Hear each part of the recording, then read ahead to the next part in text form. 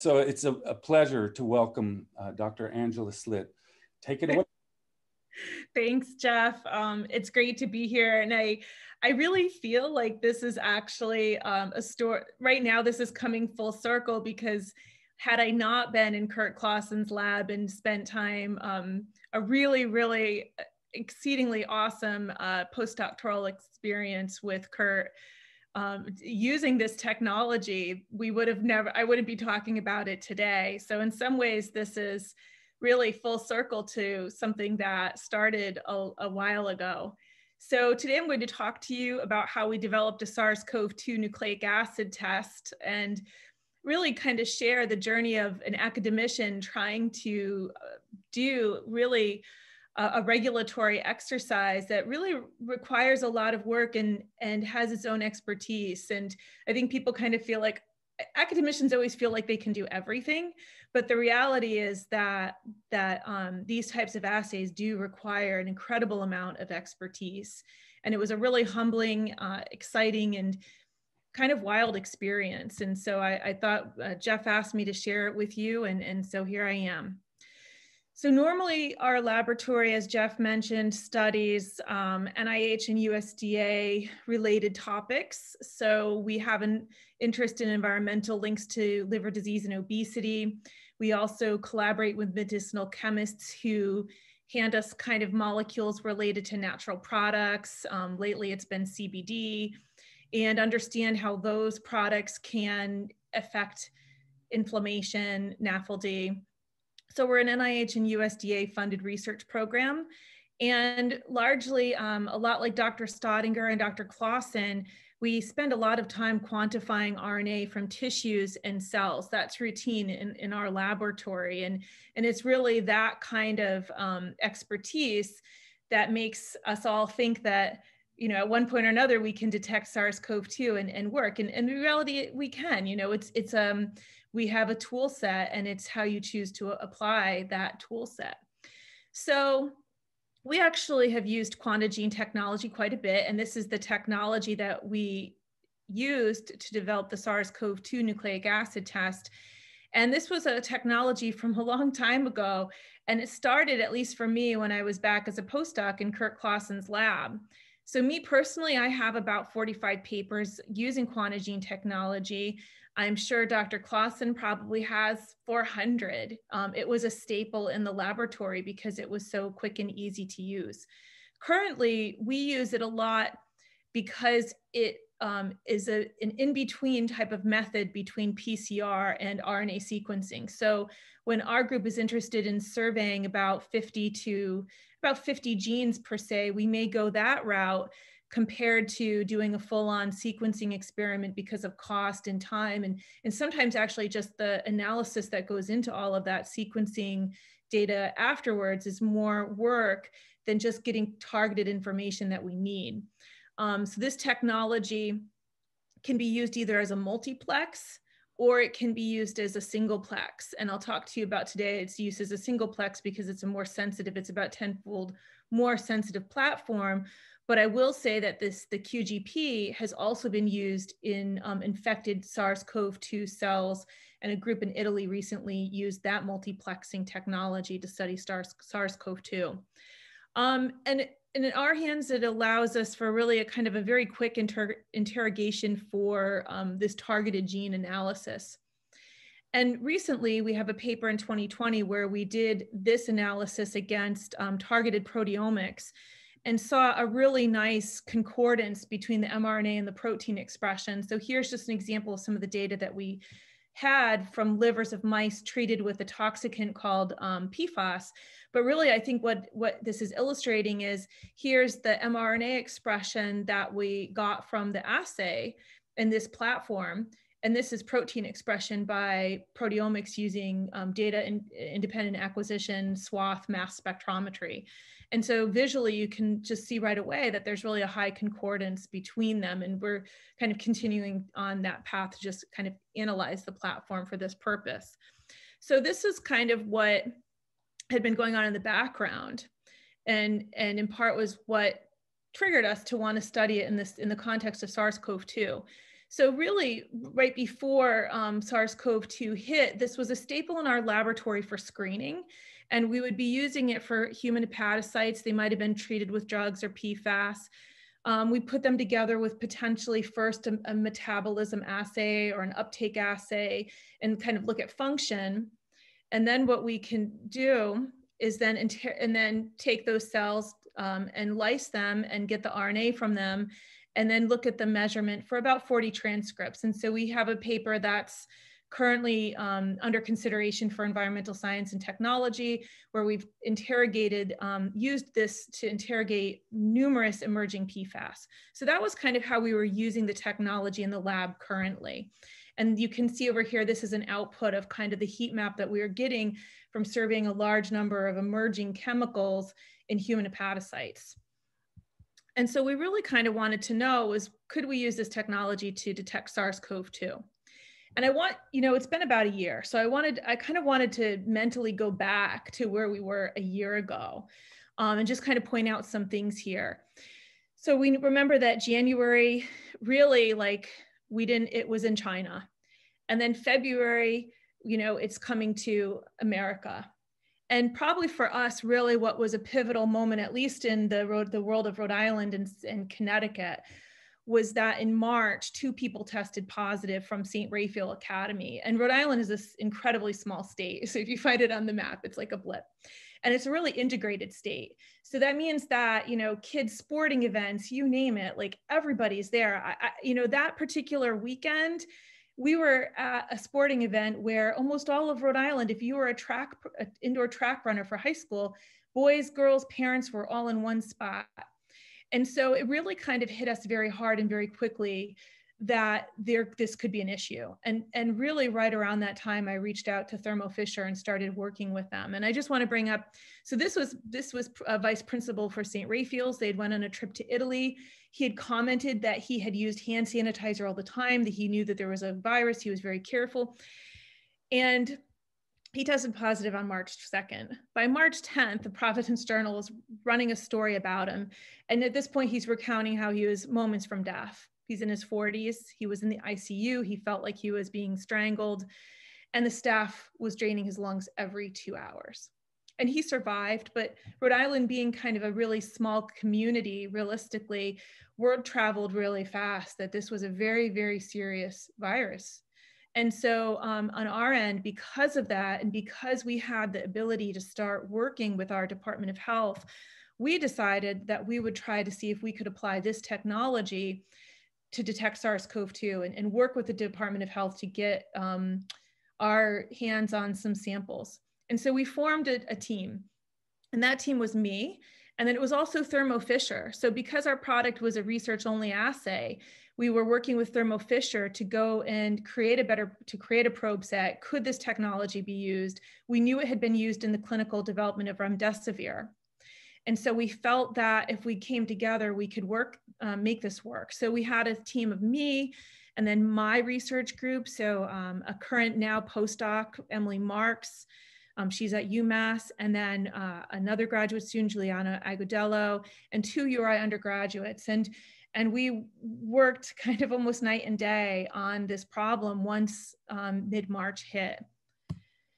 So I just want to tell you a little bit, remind you about some of the things to consider for the SARS-CoV-2 um, infection. A lot of the times what we were thinking about was how much material is on whatever you get. And, and not only that, but what is the, the, how can we remove rate limiting steps along the way? And so now you've kind of heard all of this, but remember in March, we there were so many unknowns. And so these are things we do know. You know, for nasal, throat, and spear, um, sputum, the, the copy number is pretty high. And so this means on a nasal swab, you know, you can get from a, a million to a trillion copies per swab. That's actually a fairly large amount oh. to measure. Yes. Yes. Okay. Um, and but what we didn't know at the time, but then you know, data emerges, more information comes out, is that you know where did saliva fit? Because we knew we had an assay that could work very well for saliva and not have to do any extractions. And so thankfully, um, data came out to support that saliva has fa a fairly equivalent copy number compared to a nasal swab. I just want to point out some other things to kind of keep in the back of your head. Um, typically for a PCR assay for SARS-CoV-2, the cutoff is somewhere between a 35 to a 38, a CT value. That's like an amplification, uh, a number related to amplification. And that, that is estimated about a, one to two copies per assay well. Now, um, a CT 28 to 30 or lower is really what's considered to be infective. So when you know studies went back and said what CT value really corresponds to that sample being able to either infect cells in vivo, in vitro, excuse me, or have some correlation to human infectivity. And that's more of like a CT of a 25 to a CT 30. Some people actually say it's more like a CT 25 and those are more of a, a, a about a thousand to five thousand copies per reaction. So that's a much much higher kind of titer per, per, per mil than compared to um, what could be detected really when you're looking at a PCR where it can really detect maybe just one or two copies um, in a reaction. So what makes a good diagnostic assay? I didn't know this. I was an academic. I thought I could do just about anything and you just put in your reference standard, you see it and that's it. And there's really a lot to think about. And the regulatory guidance kind of makes you go through that. So a good assay has to be sent. We've heard all of this now through the news, but sensitive, specific. We have to think about the supply chain. And so that was a really big um, selling point for our assay was that it wasn't working off of a PCR based platform. And so when the Department of Health in Rhode Island was getting hit very hard and didn't have enough reagents to extract RNA, then all of a sudden the discussions around kind of trying to get a different assay uh, up and running was really important. Obviously, the faster the turnaround, the better. Cheap, the sampling should be as least invasive as possible. And here I have a picture of either what looks like a nasal swab or a nasal pharyngeal swab. And I can tell you that the talk on the school bus all the time is about is about whether or not it's going to poke your brain or not. And we have to say, no, that's not going to happen. I talk to my kids about it. But the ability to, to collect non-invasively like saliva is a, a really good tool to have when you think about surveying lots of different populations. It needs to be accessible so I think in the United States, we live in the land of plenty. We're used to having fine equipment, but there has to be assays. Um, again, thinking about March and April here, you know, what was going to happen in countries like Africa or India, not countries, but continents like Africa, um, countries like India, where there may not be access to really high-end thermocyclers. And lastly, obviously, um, high throughput. And there's a balance between something that is you know one test after another after another versus one that can run many over hours. So those are a lot of the different components that one thinks about when they're um, creating a clinical assay. And so in the news you've heard a lot about sensitivity and pcr and i will tell you that upfront that one of the challenges that we had was that our Rhode Island, Rhode Island Department of Health really didn't want to hear anything about any other assay than PCR. They felt like that at the time, their knowledge and their mindset and it's not a bad mindset we just didn't know was that it, ha- it had to be as sensitive P- as pcr or it was not worth investing in. Um, and we now know that there's some implications to that in the sense that pcr can be really useful but if it takes you 12 days to get your result back which it was um, then the person you've missed a window of time to quarantine someone. Um, the also the also the possibility is that what can happen is individuals can shed the virus for a long period of time. And then you have implications of someone showing up positive, even though they're not infectious. And quarantine does have implications. It has implications for people with jobs, children in school. So there's a lot of, so again, like we can think about PCR, and PCR is the gold standard. But the question is really, is there room for other things? So lack of sensitivity. Obviously, if we have a test that's not sensitive enough, um, you can miss a positive. And depending on where that individual is in the trajectory of their infection, you could potentially miss that infectivity unless you're testing often. So there's different mantras, different mindsets kind of really, I'm sure most of you being scientists kind of watch those evolve over the fall, the springtime and into the summer about does it have to be highly sensitive or is it about testing as often as you can with something that may be cheaper and less sensitive and available? Um, so there's lots of advantages and disadvantages to each. And I kind of put this, you know, figure on the left-hand side because like we have a Ford Focus and we have a Lamborghini. And of course, everybody would like the Lamborghini, but sometimes we can use a Ford Focus to get, I hope none of you own Ford Focuses, um, but it's teasing here. But like, you know, that a Ford Focus can also get you where you need to go. And so I think that there's value in both. And this was a debate that we had for months. This debate came up all the time. And as new papers came out, the debate would shift and change. And it's like you think you you thought that you were done and then you weren't. And so really my feeling was all of the approved tests have sort of served a purpose in the pandemic. They all have their benefits you know, I thought my husband, I remember the day that the Cepheid was, uh, they announced it, 45 minute test. And he's like, Ange, you're done. And I think someone else texted me and I was like, oh God, great. But then the reality is that the Cepheid, it's only 45 minutes. Whoops. But it can only hold 160 cartridges at a time. So there, that's a rate limiting issue. The Abbott ID now has been tremendous. It's actually a very helpful tool. It's fairly insensitive. And realistically, when we use it at the mobile health unit that's, uh, that we've partnered with in Pawtucket, they can only see about, they can only do about 200 tests, to, you know, a, a day. So it's very useful. Now, when they find those people and they can quarantine them, that's great. But the reality is that's pretty low throughput. So there's Thermo TaqPath, great. But you know what? If you don't have the liquid handler tips to run this on this very automated system, you're stuck. Um, Abbott Binax now, very great. School nurses, um, at least in Rhode Island, are using it to survey high school athletes, but it's at 40,000 copies per mil. But they all serve a purpose. And I would, I would, you know, and all of them have contributed to trying to help us control the pandemic. So what were the goals for our project? We um, decided that we'd use this quantidine, excuse me, quantigene technology that I'll talk to you about in a minute to detect SARS-CoV-2 in saliva because this assay would allow us to not extract.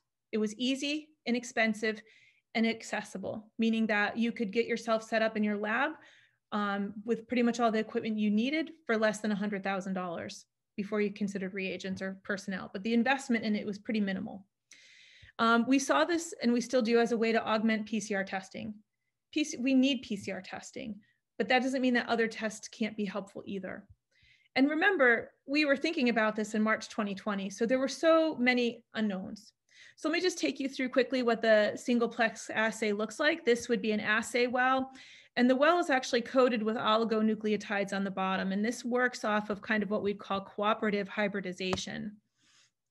So what happens is um, basically in your first step, you add um, what we would call some a probe set and that probe set either binds to the assay plate. So these are dna these are pieces of dna that have been synthetically uh, made and they can bind to either oligonucleotides on the plate or an, a piece of rna so in this case this squiggly line is our piece of rna for sars-cov-2 and then there are other parts of the probe set that also bind to the rna but are used for the subsequent steps and so this kind of, if you will, captures the RNA and keeps it at the bottom of the plate. It's a lot like an ELISA for nucleic acids. And then subsequently, there are label probes and amplification probes, and a final step that results in luminescence. So you add a substrate, you can read it. It's not the sexy Lamborghini of PCR, but it can get you where you need to go and really our thinking at the time was to create an assay that was accessible and could be used anywhere.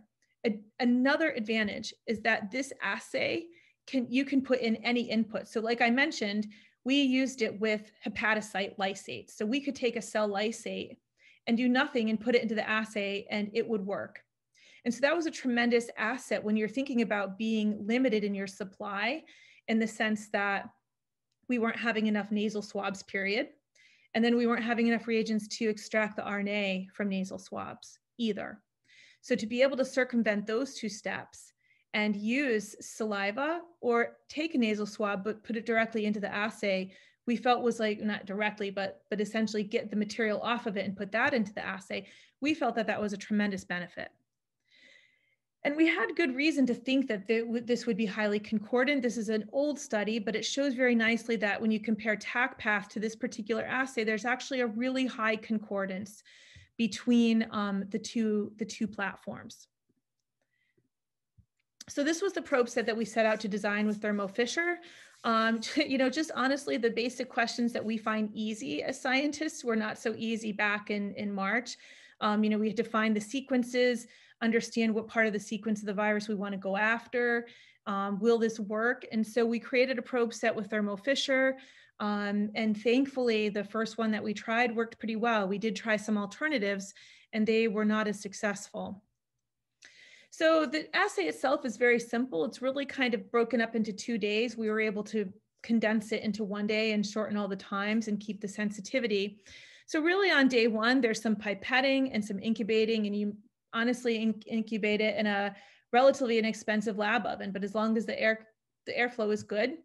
And then the second day is more pipetting. There's some plate washing, just like in ELISA, and then detection of luminescence and the assay reads out in um, kind of a relative light unit. So it's a very simple assay, very trainable, very easy to train undergraduates. So we had a lot of different um, issues getting started. There were lots and lots of hurdles. I, I just, I, could spend a whole time just talking about hurdles, but probably one of the biggest ones was the reference material. It was hard to get, it was in short supply. And then the questions, even when you got it, how good it was. There were lots of unknowns. We didn't know how to handle it we didn't know what levels of protection were needed and not only that but our institutions may have a different viewpoint of how that should be uh, handled compared to atcc or the cdc so there are just a lot of unknowns at any point you know you crack something open and you've just felt so like what's going to happen next and it was also really impossible at that time to get clinical samples there were a lot of regulatory steps so for me i was the first person in the state of Rhode Island, the first researcher to get clinical samples from the Rhode Island Department of Health um, it took a lot. We had to go through a lot of regulatory steps, a lot of paperwork. I had to beg them, I had to bug them. Um, and finally, we got the standards, and that was really a breakthrough for us. So this was our this is a typical path for assay development, and I put things I wish I knew that I, I now know.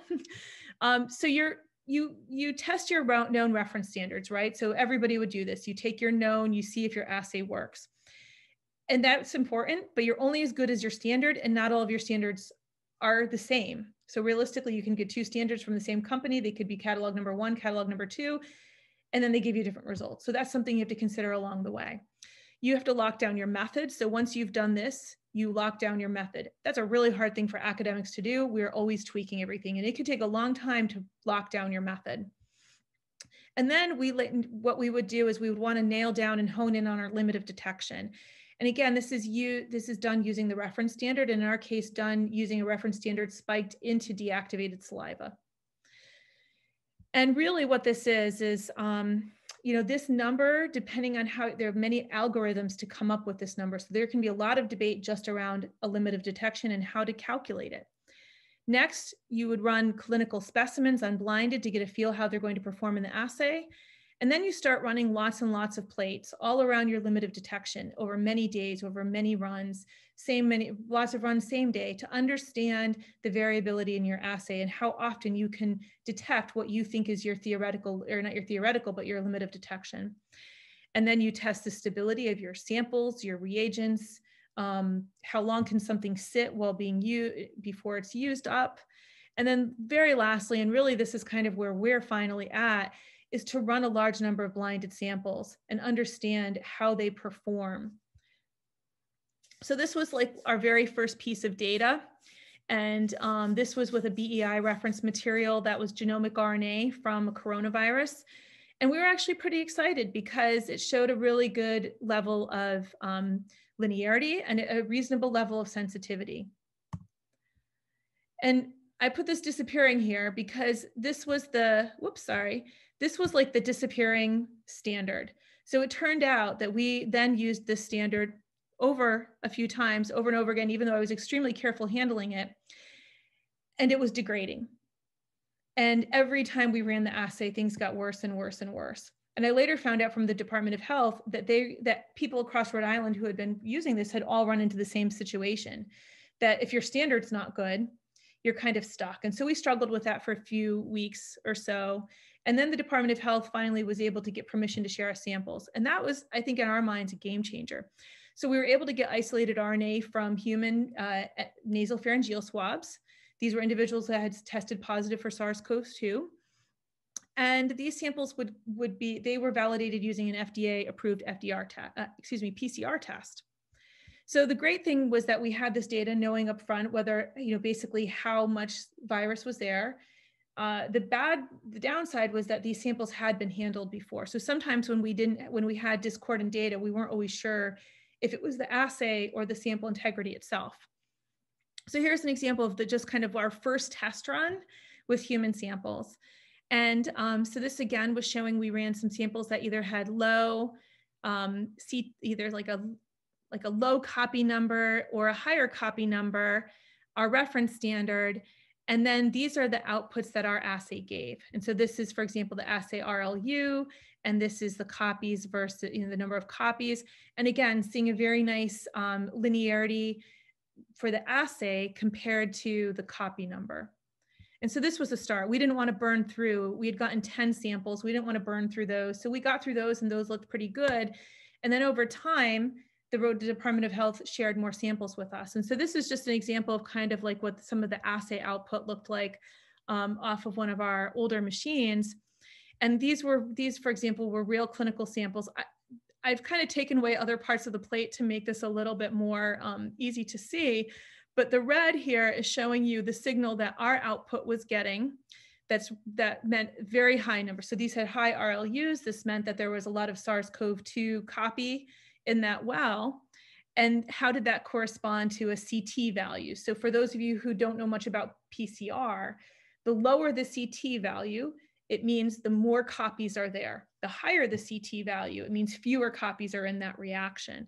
And so we actually did see a, a pretty nice concordance between um, the copy number and that, excuse me, the CT value and our RLUs. And so we were able to see um, up to CT31. And so this is some data that that we generated with a large number of um, human samples showing a really high concordance between the, the CT value that was given to us by RIDOH on, their, on the FDA PCR assay versus our RLUs. So we felt really, really confident about this. Um, and at that point, we didn't know for sure, but we felt that we were probably at about 10,000 copies per mil for purified RNA. And we'll come back to that um, a little bit later. This wasn't horrible. At the time, some people would think it was horrible, and that was a roadblock. Um, now we know that other other people have found that 10,000 copies per mil is acceptable because we know that that 10 to the fourth may not even really be an infectious um, kind of viral viral load, if you will. So, but at the time, everybody was comparing this to PCR, and that was the basis. So those were some of the hurdles that we had to overcome, but we were feeling pretty good about it. So what was the path forward at that point? We had IP issues to get through. Um, we knew that we could work with Thermo to position and create a product that we could be distributed like worldwide. Literally, they can take our assay at this point once we get the FDA EUA and put a different catalog number on it and sell it uh, under that catalog number instead. Um, and they have a lot of tools to give us. So soon when we're ready, we can leverage those tools. But there's some complicated IP around this assay too that's made it a little challenging.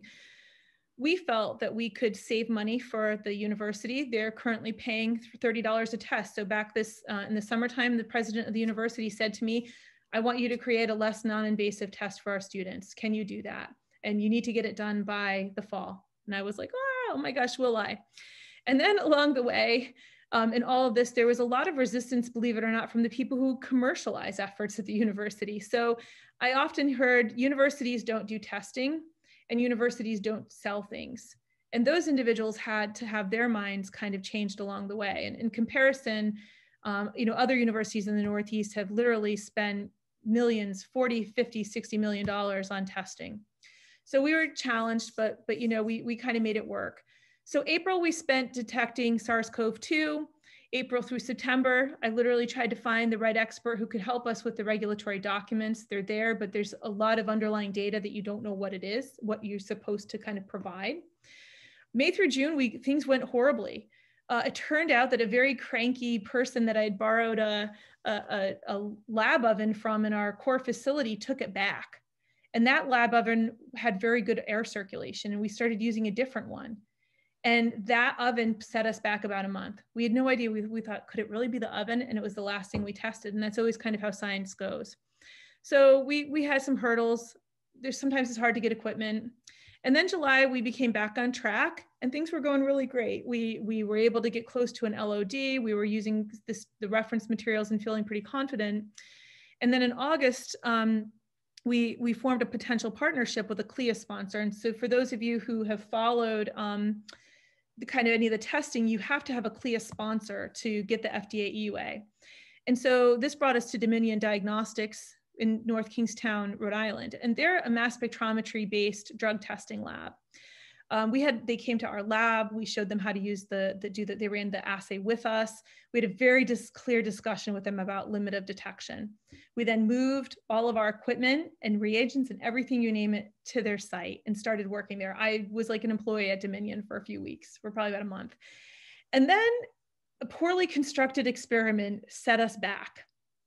Um, and I don't, I could spend whole, a lot of time talking about it, but basically, the learning point from this is that you, know if you go into these things you've got to be super careful about how you design every single experiment because if your partner doesn't really believe that what you have is good enough they might want to just call it quits. And i have to say this company at the same time had gotten a huge grant from the state of rhode island to get pcr testing up and running and they were stretched very thin.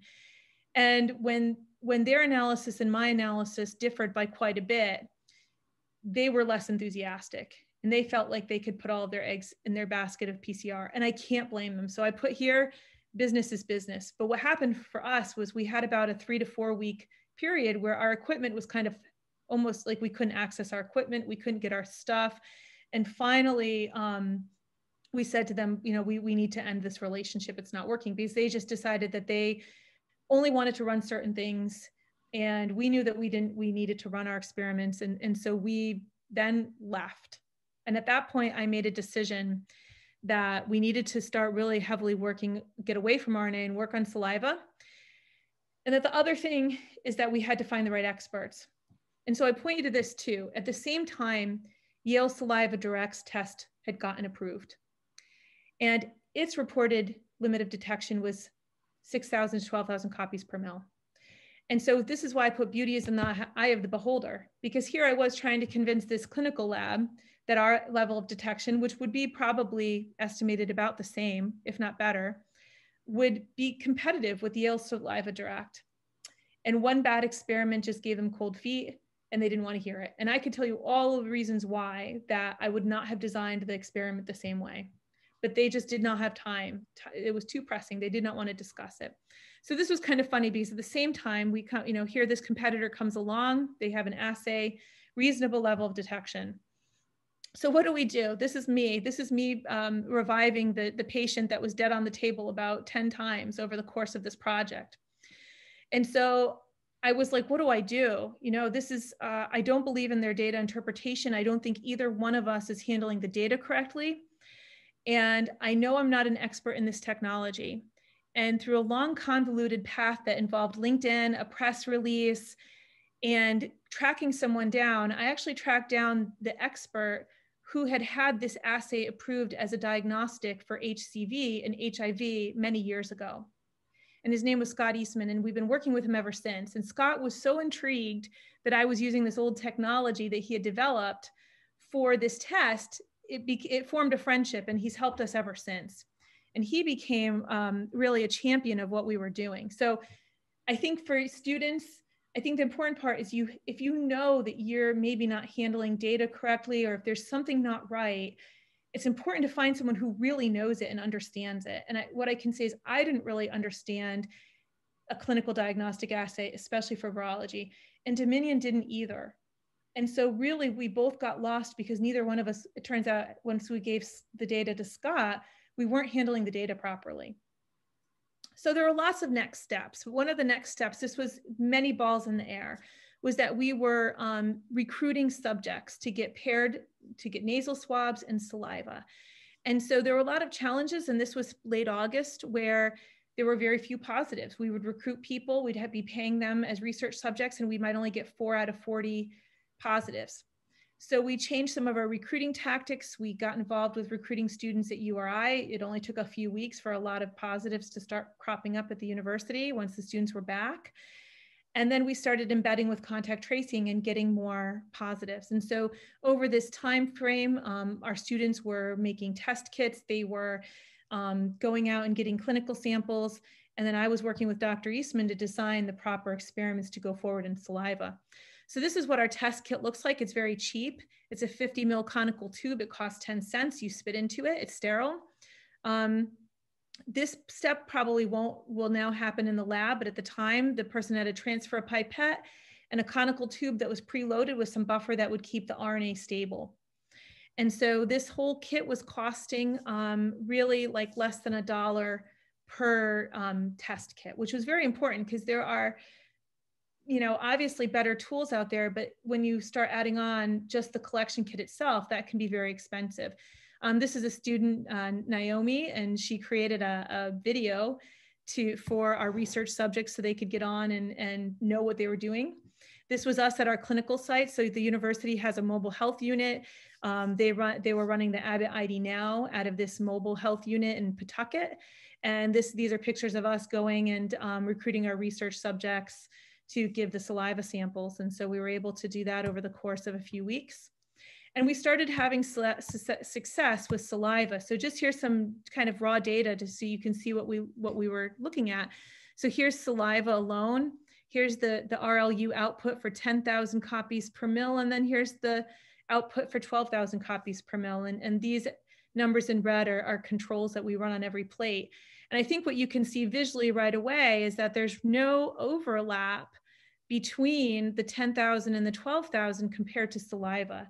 And I'll show you some much more detailed um, data, but this was this kind of the starts of data that, that were started to get us very interested that this could work well in saliva. And so we made a lot of progress over the, um, you know, basically September and October, we um, did a lot of saliva LOD experiments. We felt we were comfortably around 4,000 copies per mil. We got to present to Dr. Deborah Burks at the University of Rhode Island, and she mentioned us in a press in a press conference, so we were super excited. Um, and then the university decided to hint, to hire a panel of experts um, to vet our data, and then basically give this, the university the green light to invest more money and resources into the project. And so that went fairly well until the expert panel became a bit like a thesis committee panel and that they kept on wanting more data.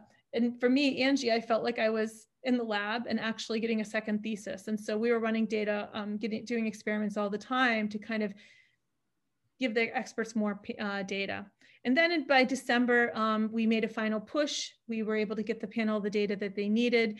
And the data that they really needed was to show that, that our RLUs and limit of detection was concordant with a PCR-based saliva test. And so we partnered with the Rhode Island Department of Health that was due, they were working on a saliva test um, that was slightly modified from Yale's. They're not running it all the time, but we were able to kind of piggyback with their effort.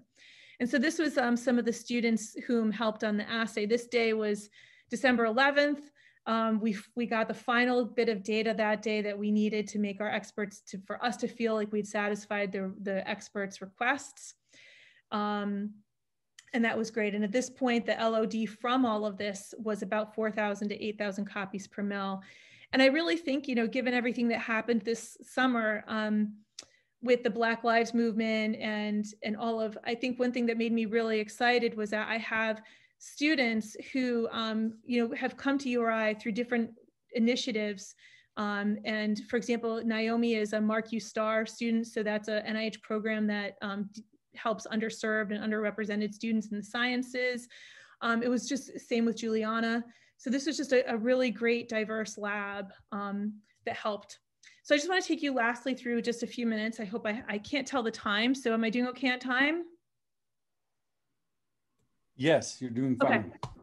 Okay, so I just want to take you guys through the last part of the talk about the, of the data. So I crunched data, but what I found was that our expert did a much better job. And so he would he would analyze my data and we would talk about it. And I learned a lot in his analysis. So one of the first things that he did was he, we had a calibration plate for our luminometers and then he had data and he looked at the two luminometers that we were using. We had an old one, we had a new one that we were demoing. Did it matter? And the, the answer was yes. So the 7% variability was basically a brand new luminometer that we were um, test driving from Promega. And that was actually one of the concerns that led to us leaving Dominion was that there can be bleed through. So if you have a very high RLU sample, a sample that's throwing off a lot of light, next to a sample that has nothing in it, if that high one bleeds into the low one, now you have a situation where that low one can look like a positive, even though it's not. And so I knew when we were back in Dominion that we needed to have a different luminometer. I, I could look at the data and say, you can't put a negative sample next to something high, it's going to bleed over. And so that was actually his first recommendation to us is this luminometer is old, it doesn't work, you need to get something better. And so we did, and we purchased the new one. And so again, like academia, this is how we live, right? We're, we're always teetering on, you know, equipment that's kind of not working, working, um, massaging it to make it work. And so that was, I, I do think had we started out in a lab where everything was pristine and new, there are a lot fewer hiccups we would have encountered along the way. He also looked at our data for variability. So one of the things he had me do was just put 40,000 copies of, um, of uh, the virus per well and load every single well on the plate and then just look, what does it look like across your assay? And so he did that and he did kind of an analysis and said, okay, well, you know, it's not horrible, but you need, you need to figure out a way to improve this. And so we worked on that he looked at that once we had lower limits of detection and, and what you can see here. So this is our plate and he's kind of coded it with um, coloring depending on what the rlus are. And so this is negative saliva. This was saliva that had 6000 copies per mil spiked into it and this is 8000 copies per mil.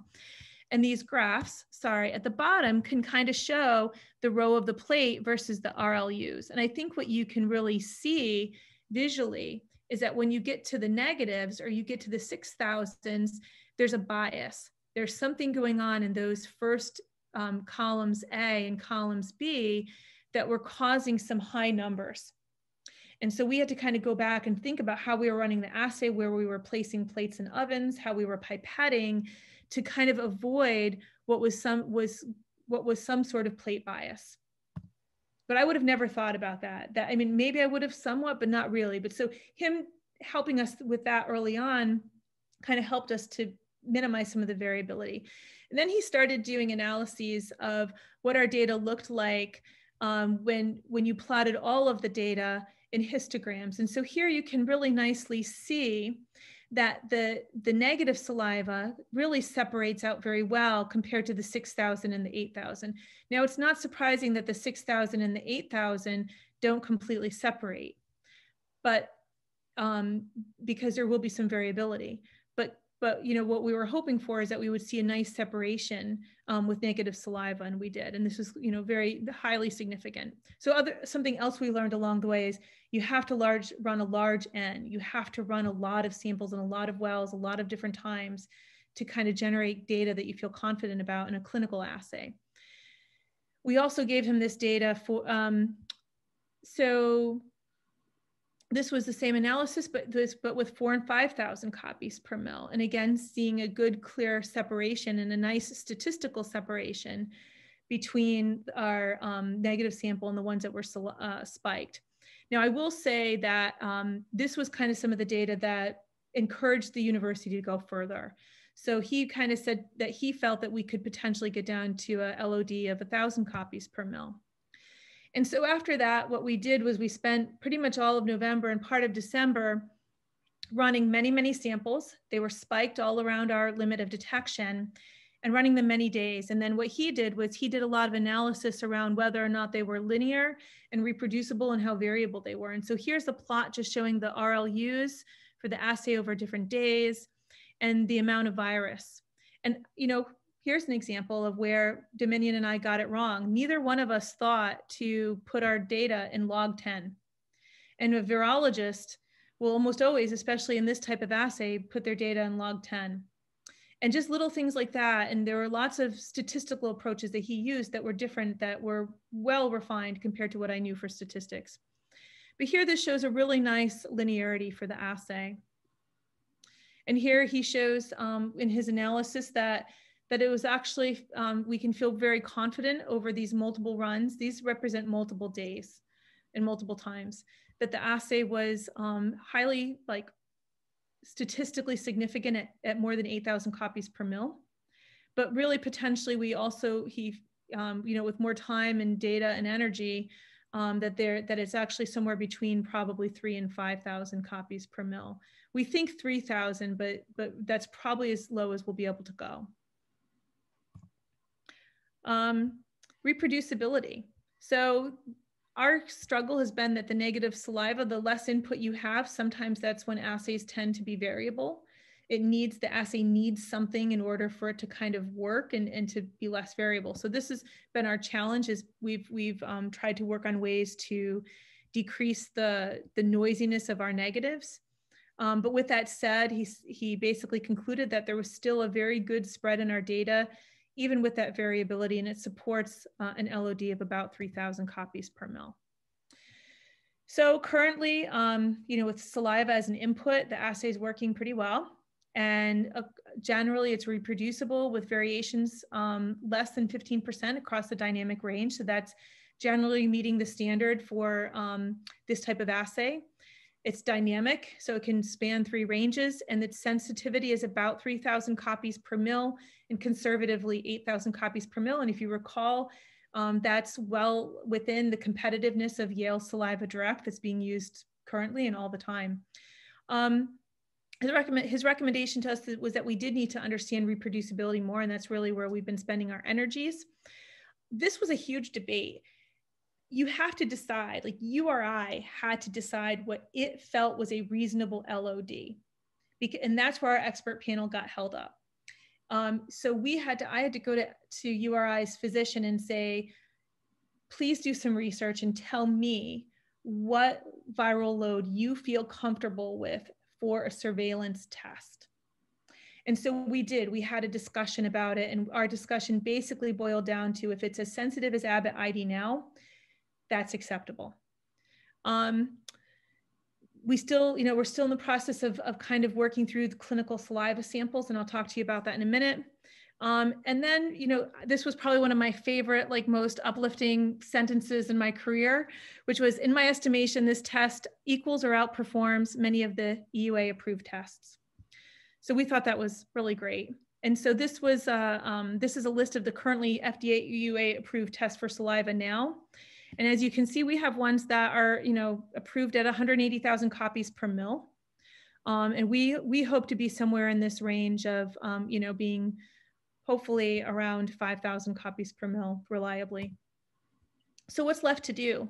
Um, the URI's hired a director to finish this. Um, she has eight years of clinical experience. She worked for LabCorp.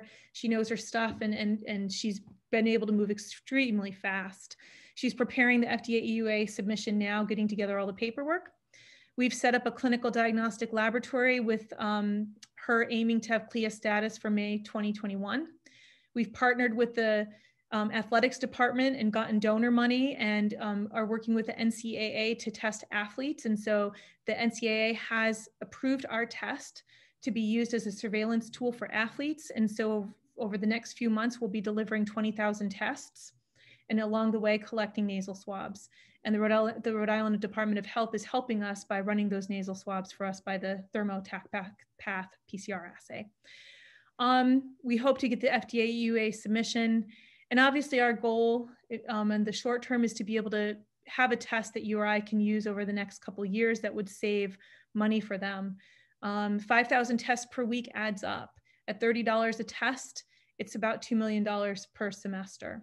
So if we can deliver our test at what we think is a price point of more like 10, then we're saving the university um, a lot of resources and money.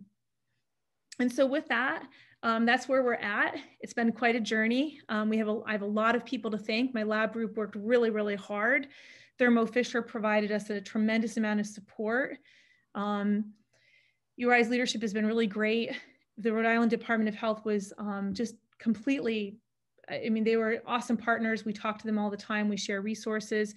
And then I have to say, if there was a champion, Dr. Scott Eastman really, he, he was one of those people who performed CPR for me and got that patient's heartbeat going again and, and really championed everything. And, and kind of because of him being able to look at what other people were doing and consult, say to my leadership team, you know, this is, this is actually really good work and you should invest in it. And so I'm really indebted to him because I learned a tremendous amount from him.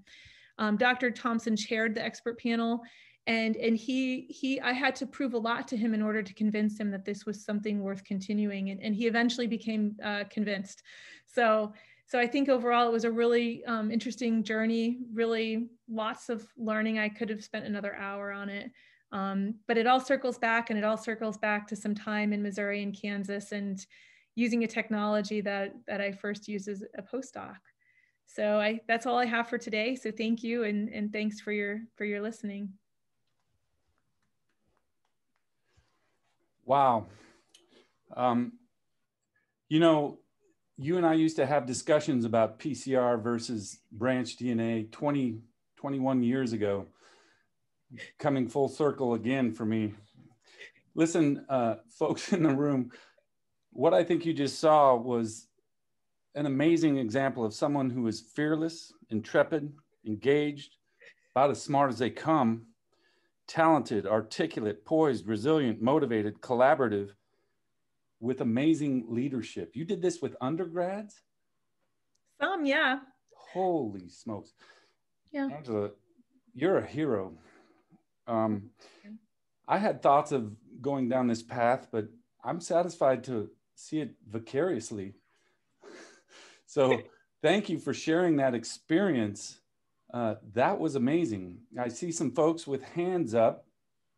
Uh, Dr. Pence, go ahead. Hey, thank you so much. This was a great talk. I, I'm both uh, energized and a little exhausted from everything you had to go through. Uh, and just for our students here, and you uh, touched on this a little bit, but the resilience and the grit that you demonstrated and multiple times throughout thinking, gosh, is what I'm doing, you know, is it going to work out or not? How can you just touch on that a little bit more and how how did you you pull deep? Did you have a mentor that taught you how to deal with this? You know, when your equipment's going out, like what, what's how did you find your motivation and your drive in those times? And and any any recommendations you'd have for our students would be great. Okay, so so to kind of comment to the first person question, part of the question last. Um, one of the things that we look for when we screen graduate student applicants or how their progress is, is grit. I don't know how we, we've been trying to quantify someone's grit, but I say as a graduate student, you need to have, scientists have to have grit. Um, how do you get the grit? I think you have to really believe in what you're doing. Of course, it has to be modeled. I mean, without a doubt, Curt Klaassen had an insane amount of grit, had high expectations. We never gave up. We always worked hard. And there was an expectation that you always, always tried to rise to the top. Um, I think at times I believed that the science would work. And I believed I, you have to look at your whole landscape. And so I would say to myself, you know, I don't understand because this test is getting approved and it's way less sensitive than our test. And what we really had to overcome was this notion of convincing people that PC it's PCR or bust. I felt like it was like a Brady Bunch episode where it's like Marcia, Marcia, Marcia, it's PCR and nothing else. And we had to kind of convince people and believe in ourselves that we had a good test. And I think once Scott got involved and he had that experience, it lended some weight that I didn't have before. And I don't really know when or why, but I just knew that I'd gotten so far that it would be a shame to give up. And I guess I just was persistent. Um, grit is something that you can learn, but I think you find it in passion in what you do. And I and I felt again, I believed in the science. I knew the theory behind the science would work. And I knew if I could get saliva samples into that test, that in every other time I had run this test, like I said, I had 45 papers on this. I knew that it would work. Would it, and I knew we we predicted at the beginning of the exercise that it would be somewhere between 100 and 200 copies would be the sensitivity. And that's where we are. And it was because we understood the science behind it. Um, I think you can't let negative voices get you down. So there was one person in particular who would just be, he was just so willing to just give up, willing to give up. And at one point, I realized I, I went back to the university and I said, if we don't get the FDA EUA, it doesn't matter. there's new guidance that's come out that we could use this for surveillance. Why don't you guys use this for surveillance? Why do you even have to go this route? Have you looked into that? And that shaped the conversation a lot. So I think I had to do a lot of thinking and clawing and digging along to convince people that we had something worth doing and that um, just to put a little bit more energy into it it's hard. I think you have to have a lot of confidence and self belief, and that just comes with time, wisdom, and probably some arrogance that isn't always earned. I don't know. Thank you. Dr. Schneira, go ahead. Dr. Sleet, thank you so much for great presentation. I take my hat off just to acknowledge how much you achieved during this um, one and a half years. Uh, forgive me because there are about hundreds of my students now attending your presentation. So forgive me that I will uh, speak now obvious things before I ask my question. Uh, any assay may produce false negative or false positive results, whatever cause, bleeding, contamination, etc. Uh, did you estimate for your assay negative, positive predictive value and specificity? Yes, yeah.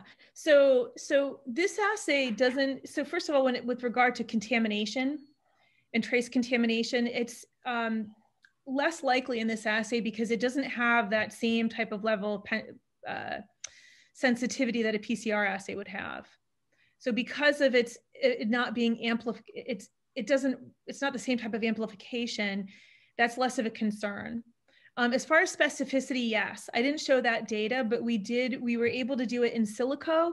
And we also did it through acquiring various viral RNAs from other SARS viruses, as well as influenzas, and tested those um, in the assay. So we did, absolutely. That's one of the things you have to do. Thank you. Uh, Dr. Wolf, go ahead.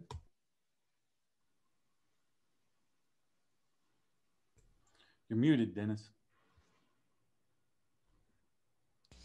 Sorry about that. Two mute buttons. I enjoyed your talk very much, like the others did.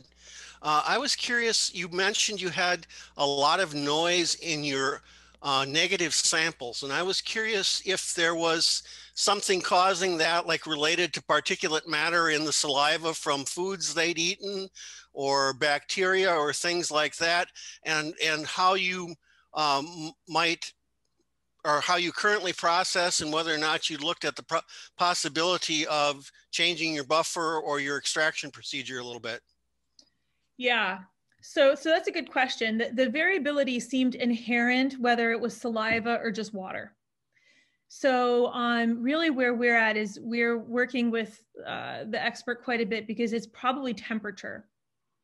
And so we've, we've tried some modifications to make the, the temperature more even across the assay plate to try to, to eliminate that. So that was one thing.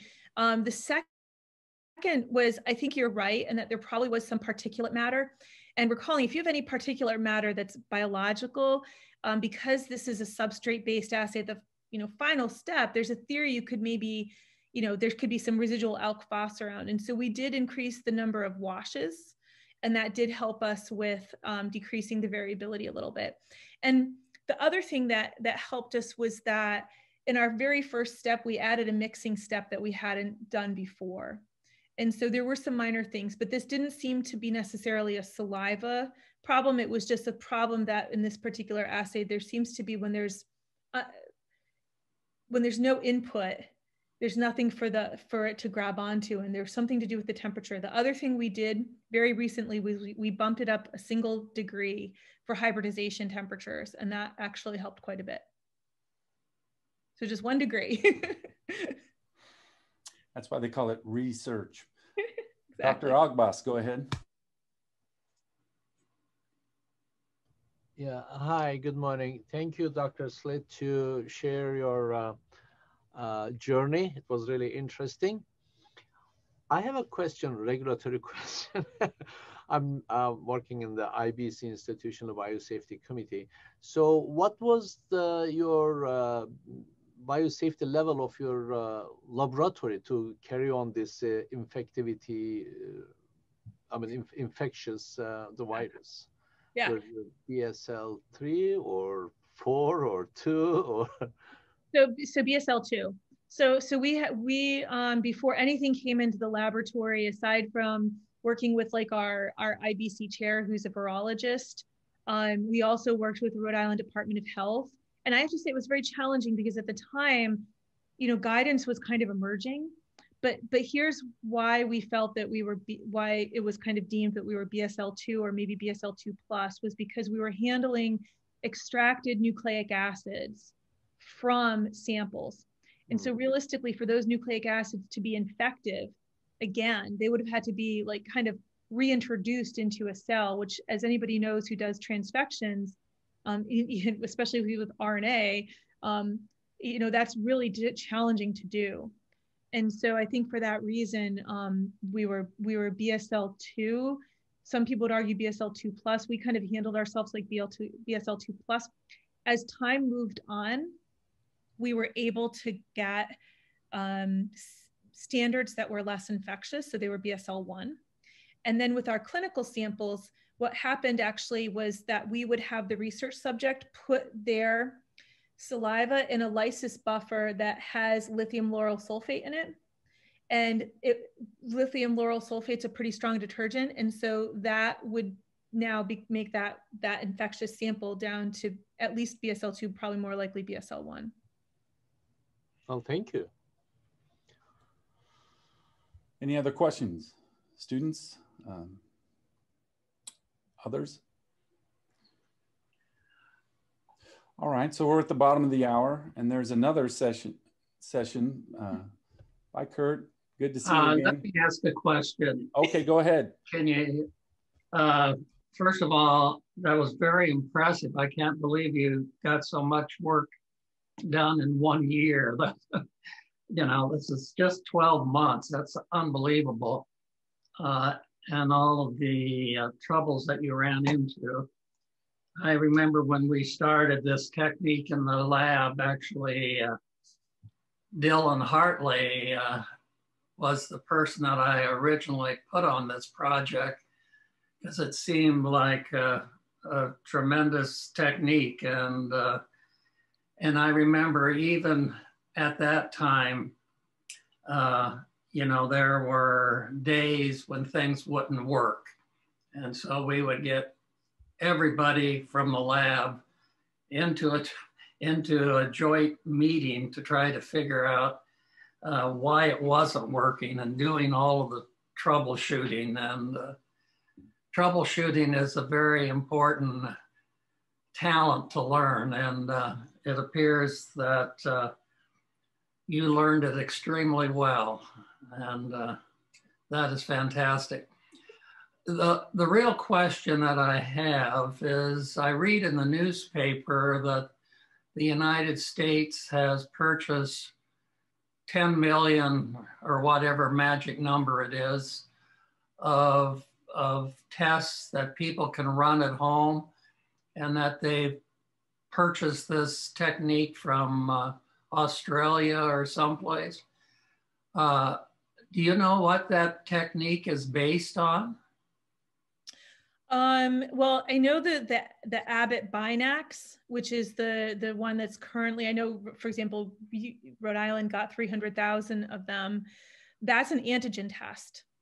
So for example, my boys take that one when they're getting tested before sports that's the one I can immediately think of from Abbott. And that's 40,000 copies per mil. And that's an antigen test. So the antigen tests are typically less sensitive than the nucleic acid based tests. Sure. Advantages and disadvantages. I think, again, advantages and disadvantages. Um, 4,000 versus 40,000 is, a, is, you know, one order of magnitude different. 40,000 copies per mil. So um, one of their teammates was positive showed up that day. So the good thing is right away, you know, okay, that's a highly infectious individual. That individual needs to quarantine from everybody. There is no doubt. So I think that that's the benefit of them. Um, I think the disadvantage is sometimes they, you know, had that test been administered five days before that, it could have totally missed it. Very good. Yeah. I think there's a place for everything. I think the other thing to consider is school children. School children don't really want to get nasal swabs. So I think, you know, uh, at least our thinking with RIDOH is that if we could create a scenario where the school kids were getting tested, especially because the, the virus is very stable in saliva, um, especially refrigerated, it can stay for a, a, while, like 14 days. Not that we'd want to wait that long, but just that it's very, it's actually very stable in saliva. Uh, just as a, a, a, different type of comment, I think it's very clever how somebody figured out that the university, the word university has a U, an R, and an I in it. And uh, you can highlight those three letters. I guess not too many universities can do that unless you have like a University of Iowa or something. uh, anyhow, I enjoyed it very much. Uh, you made me proud. Thank you. you make us proud, Curt. Dr. Schnira? Uh, Dr. Slitt, I would like to have your opinion on one information recently appeared. It's about um, COVID vaccine, which as we know, mRNA vaccine. So they're claiming now that it is stable uh, uh, under normal uh, for scientific degree. How they stabilize it? Do you have any idea? I don't know. And what I what I don't know too, oh, maybe Jeff, Jeff, do you know the answer to this? Maybe um, okay. some of those vaccines that are coming out are DNA based rather than RNA based, and they're um, uh, so double-stranded DNA is inherently way more stable than RNA. Now, if they're RNA va- uh, vaccines, yeah, I don't know. And I wanted to ask: Are you using RNAlater in, in your saliva sample, samples? Is it? No, no. So, so it would be. Any, what? RNA RNAlater will be prohibited uh, to put into samples. Yeah, we we did try some RNA inhibitors for ours, but it doesn't really it doesn't matter. The, the, the, um, it's stable in saliva in of itself, but on top of that, it's very stable in the, in that first buffer step. Okay. So that first buffer has proteinase K ah. and it has um, detergent. Okay. So, you know, so it's different. Like PCR can't handle that, but this assay can. So for that reason, that's why we can immediately get it into something that it, it really preserves the RNA. And in fact, I could have standards. I mean, you know, not purposely, but you can have standards that sat out for hours at a time at 55 degrees and nothing would change because it was just inherently very stable within that. Um, coming back to the question, the Pfizer vaccine is RNA based, but my suspicion is is maybe that it takes you know, every time you change a step in the regulatory environment, you have to validate it. And so Pfizer might have just decided to go with the most conservative route because it would have slowed them down to retest everything. So my suspicion, I could be totally wrong, but it could be something like that. And now that they've had time, they went back and revalidated the, the, the storage conditions. So nothing is changed, just they tested, had time to test stability. Yeah. A reasonable explanation. That sounds likely. That sounds likely. Dr. Ogbas, go ahead. Uh, uh, Dr. Slitt, one more question. You mentioned about your uh, inter-assay, uh, um, uh, the uh, CVs, the less than 15%. I'm just curious about the intra-assay CV. What was your intra-assay CV? Means that in the given same day, you repeat the, I'm giving the example, 10 times, what, eh, what was your CV?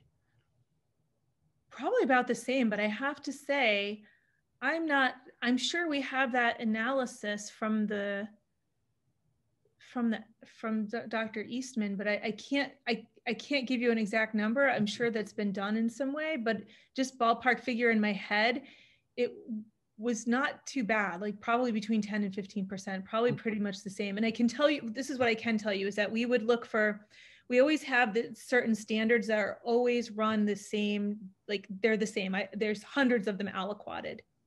And within those, it, it, I don't even know if it was 10%. it was pretty low. Like almost, I'd get almost the same, not the same exact number, but it would be in the 7,000s every single time. So I would say probably less than 10%. Thank you. Any more questions for our speaker? If not, we're going to uh, take a short break and then come back to this room and have a discussion with uh, two-year uh, research track students to provide inspiration. Thank you for this talk, part one, and we'll see you in about five minutes, okay? Okay, so we can just kind of turn our screens off and take a break? Yes. Okay, all right, thanks. Thanks, everybody.